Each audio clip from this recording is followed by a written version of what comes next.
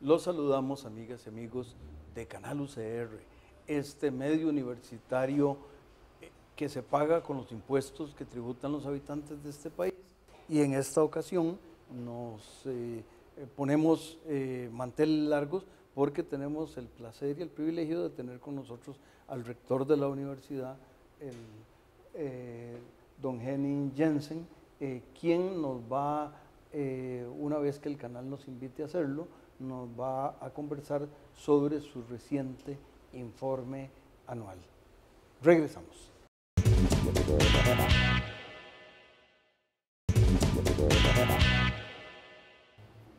Continuamos, amigas y amigos, eh, en este programa especial con el señor rector y eh, mm, pues eh, por favor, don Henning, cuéntenos de los aspectos salientes de este informe que usted acaba de eh, presentar a la comunidad universitaria y a la comunidad nacional, porque la presencia de la Universidad de Costa Rica está en los distintos eh, campus y centros regionales y todo lo demás, pero está en todo el país. muchísimas gracias en primer lugar por la invitación. Me siento realmente en un ambiente muy agradable eh, cuando converso con usted, don Juan Rafael, y eh, por supuesto estando en este medio eh, que es tan importante para la vida institucional y para la vida del país, el canal UCR. en esta oportunidad, al presentar mi informe de labores, he escogido una manera diferente a otros años, en los cuales yo hacía una presentación lo más exhaustiva posible de aquello que durante el año pasado se había realizado. En esta oportunidad, como estaba empezando a decir, eh, escogí eh, resaltar algunos aspectos y al mismo tiempo hacer una reflexión sobre el estado de nuestra institución sin olvidar que estamos eh, contextualizados en una nación, la nación costarricense, que en este momento también vive eh, una situación que yo diría que es, que es delicada.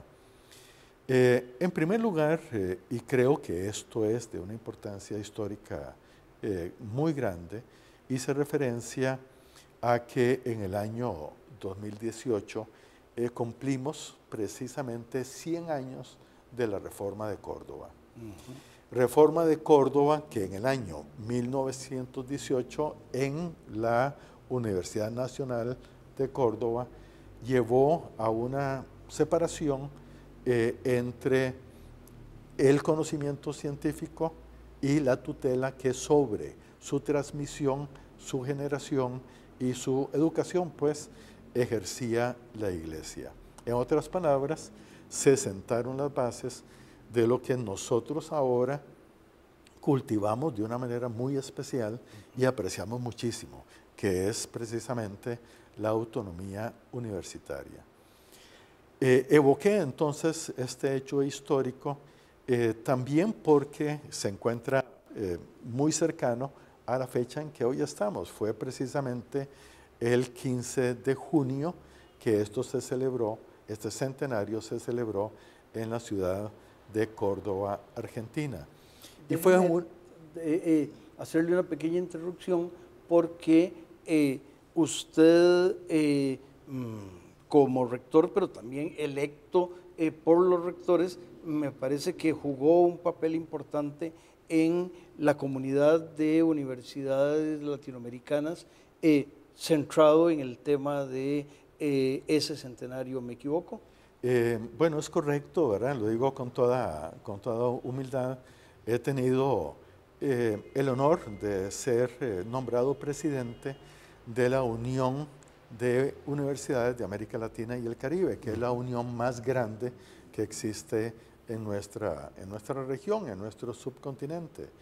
Y por lo tanto eh, tuve una participación muy activa y creo que eh, muy reconocida en la Conferencia Regional de Educación Superior que con el motivo ya señalado se llevó a cabo en Córdoba, Argentina. Y esta fue una extraordinaria eh, oportunidad para discutir con una cantidad muy grande de rectores, más de mil rectores, sobre el rumbo de la Universidad Latinoamericana, también sobre sus penurias, sus preocupaciones y eh, sus desvelos con respecto al futuro.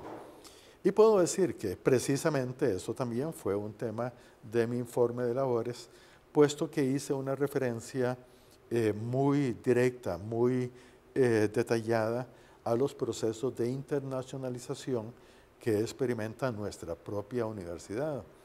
Yo destaqué que la Universidad de Costa Rica en los últimos años ha creado lo que llamamos las cátedras internacionales, que en este momento son cuatro, eh, cuatro cátedras que eh, se dedican a los estudios coreanos y del este asiático, los estudios sobre África y el Caribe, eh, luego la cátedra Humboldt, que está centrada en el tema muy amplio de los estudios europeos y los estudios alemanes en humanidades y ciencias sociales, y también una cátedra sobre el tema de la interculturalidad. Y todos estos temas son efectivamente muy actuales para nuestra vida académica, eh, tanto nacional como regional. Y vemos que la cooperación eh, entre las universidades del mundo, pero sobre todo en este plano la cooperación entre las universidades latinoamericanas y caribeñas, eh, se ha convertido en un punto focal de los intereses en el desarrollo de nuestras comunidades universitarias, nuestras comunidades académicas. Eh, se ha dado en los últimos, en el último año y medio, y tengo que hacer aquí una referencia muy clara, desde que Donald Trump asumió la presidencia norteamericana y en virtud de sus eh, iniciativas eh, legales con respecto a la migración, y siendo la Academia Norteamericana la más internacionalizada del mundo, eh, ella ha sufrido como efecto de estas políticas migratorias. Y esto ha llevado de una manera casi que inmediata. Eh, pasaron apenas semanas, pocas semanas, para que se diera una reacción de parte de la comunidad académica internacional para reacomodar sus redes de cooperación en virtud de esta amenaza que pendía y pende todavía sobre la Academia Norteamericana. Entonces se provocó lo que he dado en llamar una nueva geopolítica académica, en donde se están estableciendo entonces eh, nuevas eh, alianzas de cooperación y se están fortaleciendo aún más que antes los lazos y los vínculos eh, comunicativos entre América Latina Asia y Europa. Pero aquí no estamos olvidando los países africanos y también la aproximación que poco a poco han empezado a dar los, eh, a hacer los países árabes con nuestros propios países latinoamericanos. Y eh, Costa Rica no es una excepción. precisamente el establecimiento de relaciones diplomáticas, y relaciones eh, comerciales con algunos países árabes. Eh, mencionó Emiratos Árabes Unidos o eh, Qatar, pero también otros. esto ha, ha, conducido a que se den iniciativas de vinculación académica. Bueno, y aquí vemos un ejemplo, creo que extraordinariamente claro, de lo importante que es la internacionalización eh, porque la internacionalización de la academia acompaña los procesos de internacionalización que al mismo tiempo se dan entonces en el intercambio de mercancías, de productos, se dan entonces en la economía, se dan también en la cultura y en la política. Son dimensiones que van eh, acompañadas. Ahora bien, en América Latina eh, hemos tenido un desafío muy grande que hemos retomado eh, en, la Conferencia Regional de Educación Superior y que también es una de las tareas más importantes que yo asumo como rector, pero también como presidente de la UDUAL, de la Unión de Universidades de América Latina y el Caribe. Y es dar pasos muy firmes y muy claros hacia la constitución de un espacio común académico en nuestra región, en América Latina y el Caribe, basado este espacio en el intercambio académico, la movilidad de estudiantes y profesores, pero sobre todo eh, basado en el reconocimiento recíproco. La creación de estas redes internacionales y regionales es una tarea eh, perentoria, es una tarea de gran importancia y que va a tener consecuencias muy grandes sobre el futuro de nuestras propias comunidades académicas. Y déjeme decirle además que eh, mm, la universidad ha llegado a un grado de madurez, excelencia, eh, eh, como dos acompañantes, que permiten que ese diálogo sea más fructífero. Siempre, siempre se puede, nosotros los bajitos podemos hablar con los muy altos, pero ahora la Universidad de Costa Rica ya no es bajita y hablaremos de eso y el resto de otros temas de su informe eh, señor rector, una vez que el canal nos invite a hacerlo. Regresamos.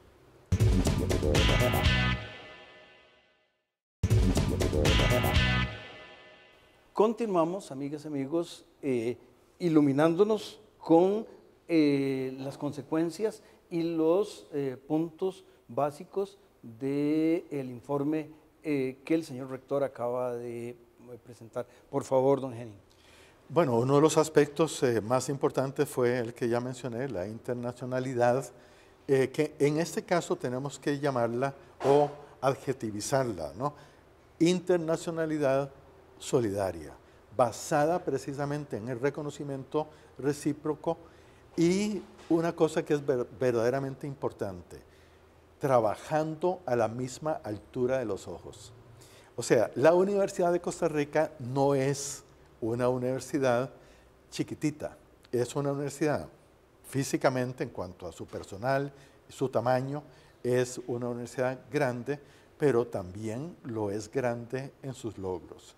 Eh, y esto ha conducido a que sea una universidad internacionalmente muy conocida y sin duda alguna es de referencia en nuestro país y en toda nuestra área centroamericana y en la región. Eh, siendo así las cosas, entonces nosotros podemos hacer en las redes que he mencionado eh, docencia, investigación, pero también acción social de muy alto nivel. Se cree que la acción social es algo más local, pero eh, realmente no es el caso. En la misma UDUAL hemos creado diferentes redes de cooperación que tienen como propósito eh, más importante, incidir sobre el bienestar de las poblaciones más vulnerables de América Latina. Y no solo en la UDUA lo hemos hecho, lo hemos propuesto también eh, de parte de la Universidad de Costa Rica en otras eh, asociaciones de universidades. Y todo ello con un gran éxito. Pero esto creo que me lleva obligatoriamente a, a mencionar un, un, ejemplo, ya que hice referencia a la cátedra Humboldt. Eh, Alejandro de Humboldt, que es el gran eh, descubridor de América, de toda su enorme riqueza eh, natural, y es también ¿verdad? una de las figuras señeras de la historia universitaria. Alejandro de Humboldt fue capaz de establecer redes de cooperación científica que lo llevaron a hacer descripciones, por ejemplo, de la geografía, de la geomorfología latinoamericana, de las cuales uno ahora se sorprende de la exactitud. Incluso eh, yo participé en la, en la publicación de un pequeño escrito sobre Centroamérica, lugar donde él nunca estuvo, pero sí pasó por sus costas. Y la descripción que hace es extraordinariamente precisa. Y es porque él tenía toda una red de cooperación internacional, eh, no solo en América Latina, sino en otros lugares del mundo, que le permitían a él hacer acopio de conocimiento. Pero bueno, ya que hablo de internacionalidad, creo que al mismo tiempo tengo que hablar sobre regionalización. Este también es el año en que celebramos 50, el 50 aniversario del el inicio de la regionalización de la educación superior en Costa Rica. Un proceso que, como todos sabemos, fue iniciado por Carlos Monge Alfaro y que ha tenido unas consecuencias maravillosas para todo el país. No solo ha llevado a que la Universidad de Costa Rica y ahora también en compañía de las otras universidades públicas estemos en todos los cantones del país, llevemos no solo nuestro conocimiento, sino que llevemos eh, nuestras actividades y nuestras acciones solidarias, basadas en la reciprocidad y basadas en la eh, conjunción de intereses entre la comunidad y la universidad, de manera que hemos impactado enormemente al desarrollo de toda, de toda la comunidad eh, costarricense. Y lo hemos hecho de una manera, creo que, evidentemente solidaria. La regionalización, eh, yo suelo decir que es la vía regia de la democratización del acceso a la educación superior. Eh, con esto estoy haciendo en realidad una paráfrasis de una frase de Sigmund Freud que decía que los sueños son la vía regia al inconsciente. Bueno, oh. la regionalización es la vía regia hacia la democratización de nuestra educación superior. Y lo hacemos solidariamente, no solo porque trabajamos en conjunto con las comunidades, sino porque tenemos un sistema de becas de lo más sólido, de becas y asistencia socioeconómica, de lo más sólido que uno puede encontrar en América Latina. Eh, yo invitaría a, la comunidad universitaria, pero también a la comunidad nacional y a, todas las personas interesadas en la Universidad de Costa Rica eh, que se enteren que nosotros hemos pasado de tener un presupuesto de más o menos 8 mil millones de colones, ahora en este año a más de 26 mil millones de colones, o sea, un aumento como del 300% dedicado a eh, el apoyo socioeconómico de nuestra población estudiantil. Y en las sedes regionales esto es todavía más, eh, más necesario, es más perentorio, eh, en virtud de las características sociodemográficas y socioeconómicas de la población estudiantil de nuestras sedes. Y así podemos con toda claridad, pero también con gran satisfacción decir que alrededor del 80% de nuestros estudiantes y nuestras estudiantes de sedes regionales gozan de beca y asistencia socioeconómica. Y de toda nuestra población estudiantil, más del 50%. Esto es sin duda eh, el resultado de una visión democratizadora de la educación superior. Es sin duda alguna algo que a lo largo de la historia hemos ido eh, articulando con el fin de que la Universidad de Costa Rica sea efectivamente eh, algo que se aleje totalmente de, una torre de marfil y sea una institución al servicio de la comunidad costarricense.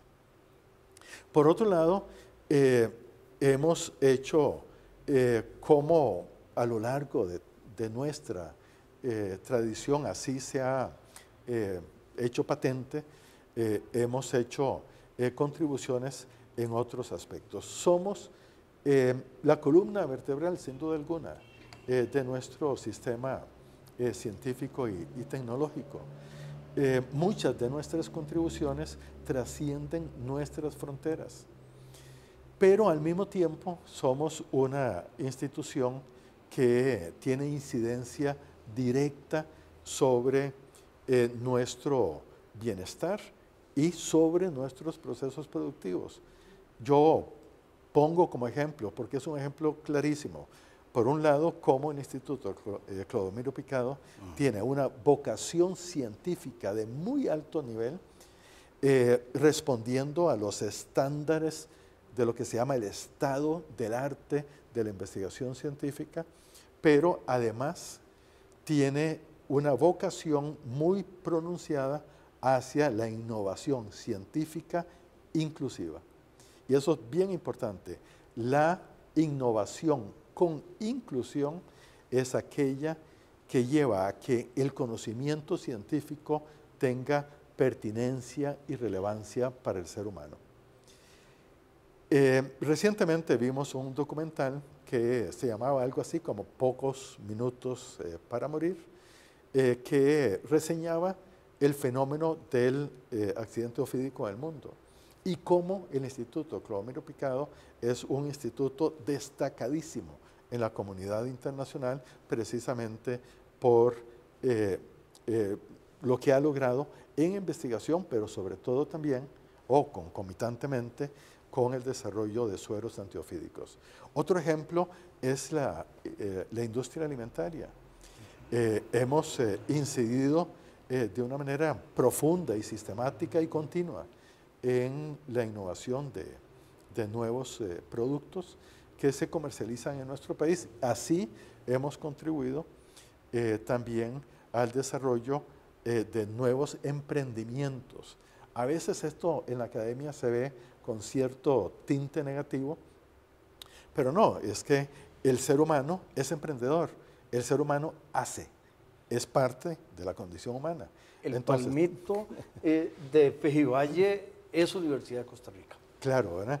Entonces, el ser humano es un hacedor de cosas y nuestra universidad tiene que transmitirle a nuestros estudiantes la capacidad de hacer algo con lo que aprenden.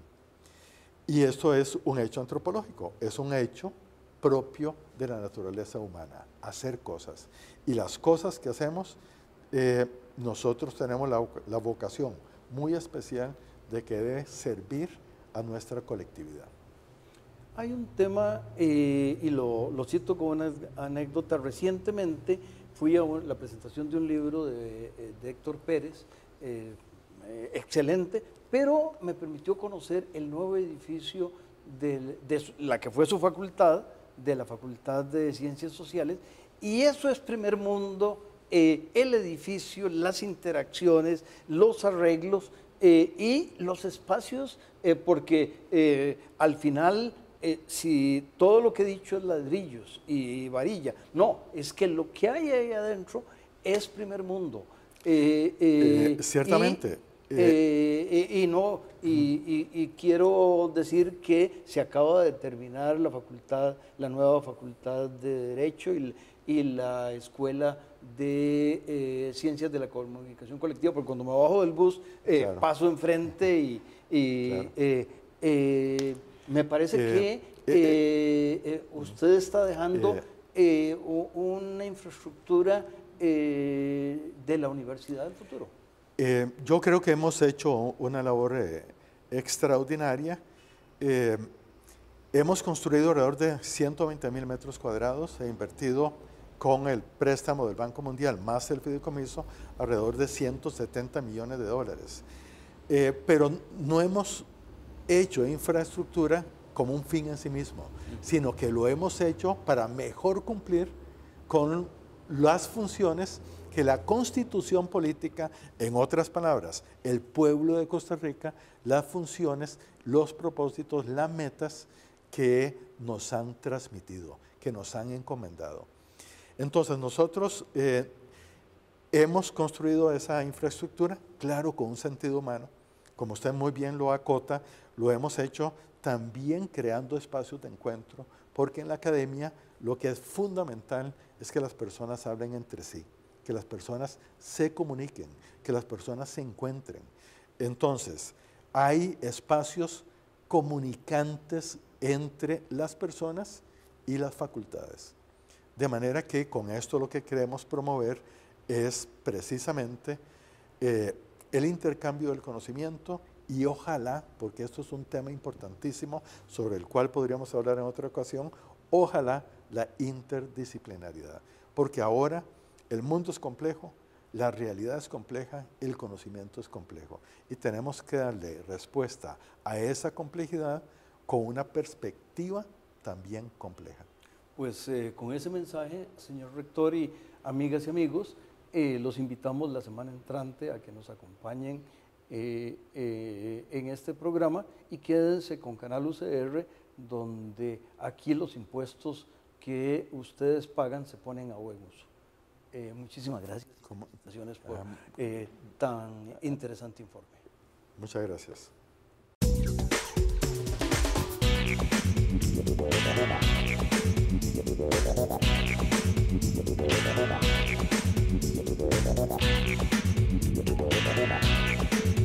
ごめんなさい。